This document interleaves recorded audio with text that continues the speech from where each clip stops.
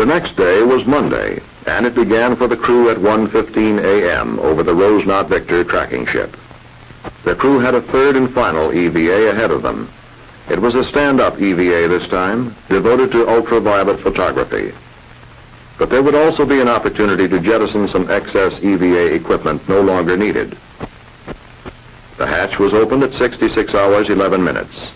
The pilot took ultraviolet photographs of the sunrise and of selected constellations. After 51 minutes, the hatch was closed, and with it the crew had closed out three planned EVAs with remarkable success. Not long after this, Gemini 12 received its flight update for a 60-1 recovery. It would now fly the full four days and come down in the primary recovery area in the western Atlantic. Tuesday, the fourth day, began on a familiar note. The crew was awakened early. Flight Director Krantz was checking the fuel cells again, but no major problem.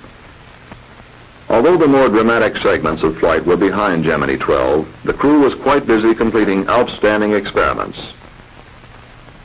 A preliminary retrofire time of 94 hours was transmitted to them.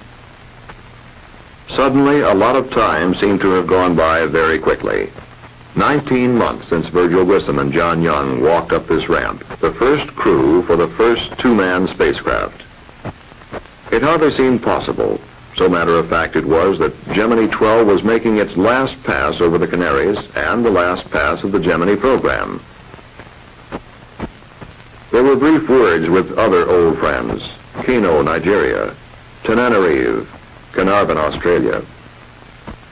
And we are one minute from retrofire. Mark. All aircraft are on station as of 1849 Zulu. Network SRO. Go SRO. Roger, I have an IP for you from our computer. Okay. Discovery, 24 degrees 44 minutes Roger, north. flight, understand me. The prime recovery ship, the USS Wasp, was on station some 600 miles east of Cape Kennedy as the retro rockets fired.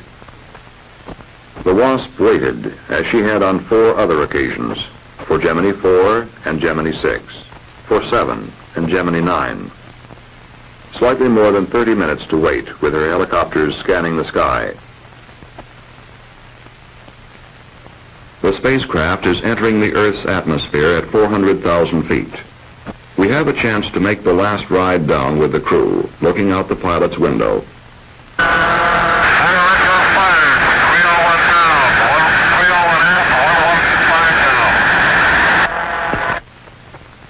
Film of reentry was shot at 6 frames a second.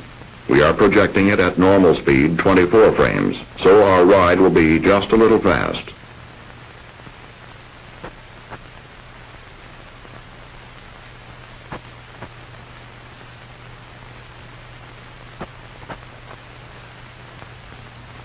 Heat of reentry becomes intense.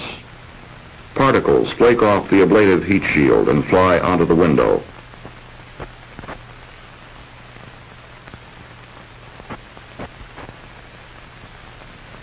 The intense heat will now break off our communication with the ground for about four minutes.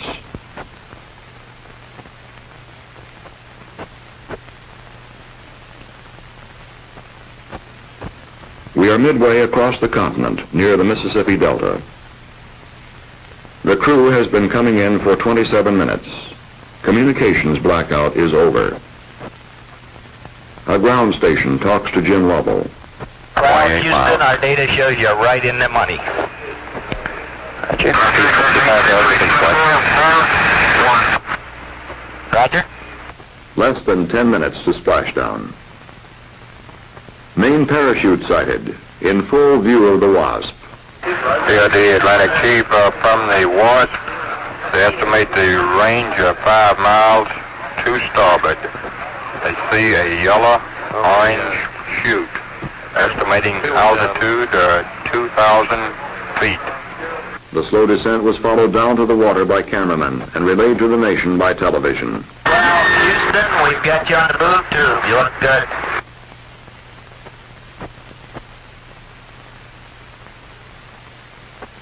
Splashdown. The Gemini 12 flight is officially over at 2.21 p.m. Eastern Standard Time. It passes into history. the recovery mission begins.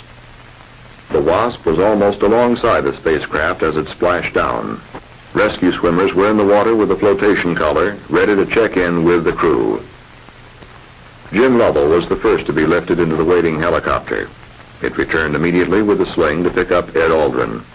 Both were soon aboard and receiving the congratulations of the helicopter crew. There will be time later to summarize the Gemini program, to add up the major accomplishments we now take for granted. Rendezvous and docking, long-duration missions, EVA, pinpoint reentry. There is a just share for contractor, for Department of Defense, NASA, for flight crew and ground crew, and most of all for the man in the street for whom this program is ultimately designed, and without whom it has no meaning. But this day belongs to Gemini 12 and its crew. We must not stint them. These men set out to do a job and finished that job thumbs up. Command pilot and pilot had added 5 hours 28 minutes of EVA exposure to the Gemini record. Each established his own individual record. Jim Lovell has flown longer in space than any other man, 18 days. 14 days on Gemini 7, 4 days just behind him. Buzz Aldrin set his record of 2 hours 9 minutes on umbilical EVA at workstations.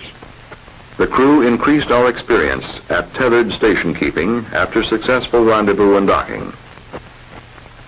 Finally, Gemini 12 added 14 successful experiments to the Gemini program, which has collected research data for scientists on every flight. More than 50 experiments were conducted on this program.